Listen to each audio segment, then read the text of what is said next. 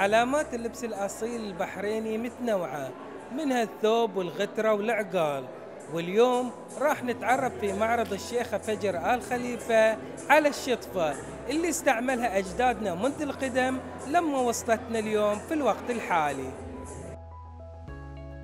افتتح سمو الشيخ تركي بن راشد بن عيسى آل خليفة نائب رئيس المجلس الوطني للفنون. المعرض الفني الشخصي للفنانة الشيخة فجر بنت علي بن راشد آل خليفة بعنوان الشطفة وذلك في مركز صفية بنت علي كانو للفنون.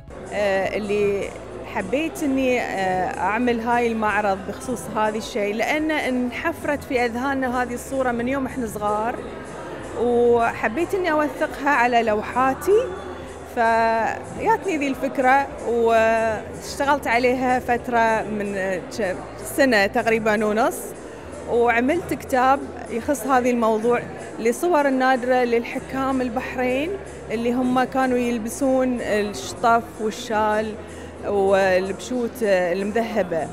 واشتمل المعرض على منحوتة فنية مطلية بالذهب وكتاب من إعداد الشيخة فجر يشمل على صور تاريخية لحكام وأمراء مملكة البحرين بلبس الشال والبشت والشطفة كما تضمن المعرض اللوحات الفنية بالحفر البالغ عددها أكثر من ثلاثين لوحة تجسد السيوف والخناجر والشال والشطفة البحرينية. كما حضر افتتاح المعرض عدد من سفراء الدول العربية والأجنبية في المملكة وعدد من الفنانين والمهتمين.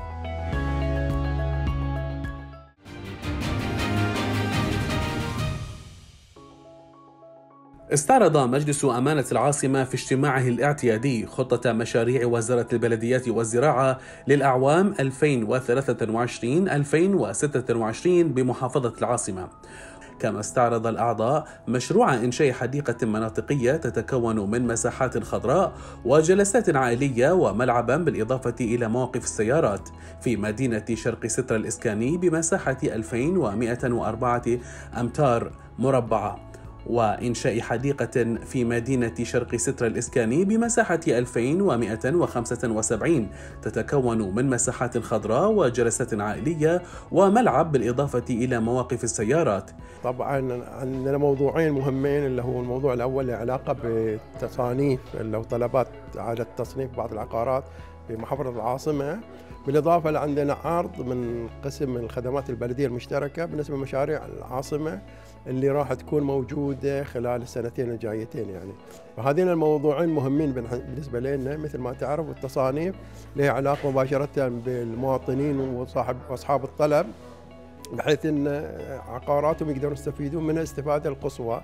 من جهة أخرى وافق المجلس على تغيير تصنيف عقار في منطقة السلمانية مجمع 339 من تصنيف مناطق السكن الخاص RB إلى تصنيف مناطق الخدمات الصحية CSH شريط توفير عدد لمواقف السيارات ملائمة مع عدد العيادات في المركز الصحي كما وافق أيضا على تغيير تصنيف عقار في منطقة أم الحصم مجمع 333 كنا والله نشتغل على قدم وساق في كل المناطق كنا متوزعين والتنكرات والصهاريج وما إلى ذلك واللي يشفط يعني خصوصا في الأماكن الحرجة والهايويز والأماكن الرئيسية.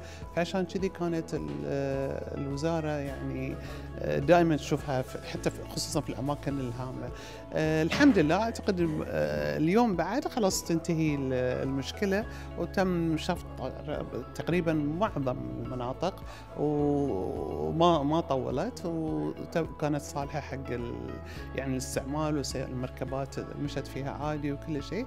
من تصنيف مناطق الخدمات والمرافق العامة PS وجزء من تصنيف مشاريع وزارة الإسكان MOH وجزء لا يحمل تصنيف معتمد إلى تصنيف مناطق العمارات متعدد الاستخدامات BC لصالح مشروع أم الحصم ضمن مشاريع حقوق تطوير الأراضي الحكومية جلوب.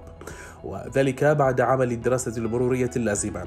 ووافق الأعضاء على تغيير تصنيف عقار في منطقة السنابس مجمع 410 من تصنيف مناطق العمارات متعددة الاستخدامات BB إلى تصنيف مناطق البلوكات التجارية CB وتغيير تصنيف عقار في منطقة توبلي مجمع 711 إلى تصنيف الخدمات الدينية CSR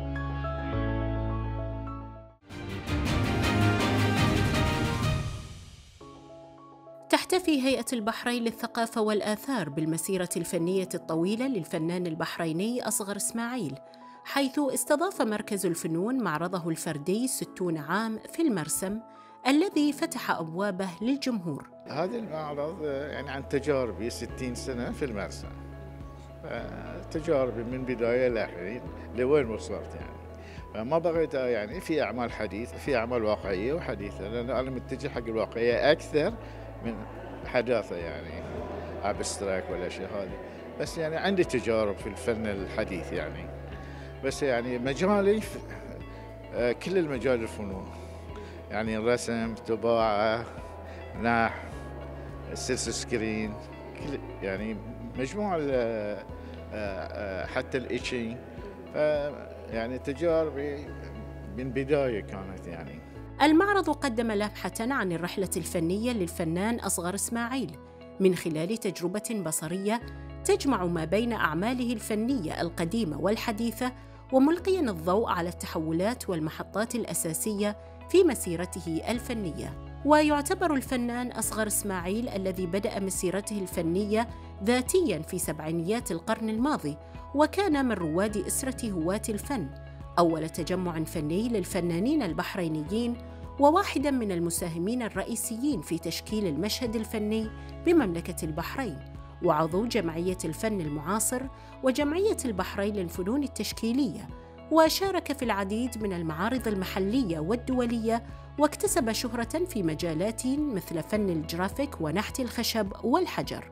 كما ويعرف الفنان أصغر إسماعيل بتصويره للحياة اليومية والتراث ومشاهد البحر والسفن كما ويكرم المرأة في أعماله معتبرا إياها رمزا محوريا في المجتمع.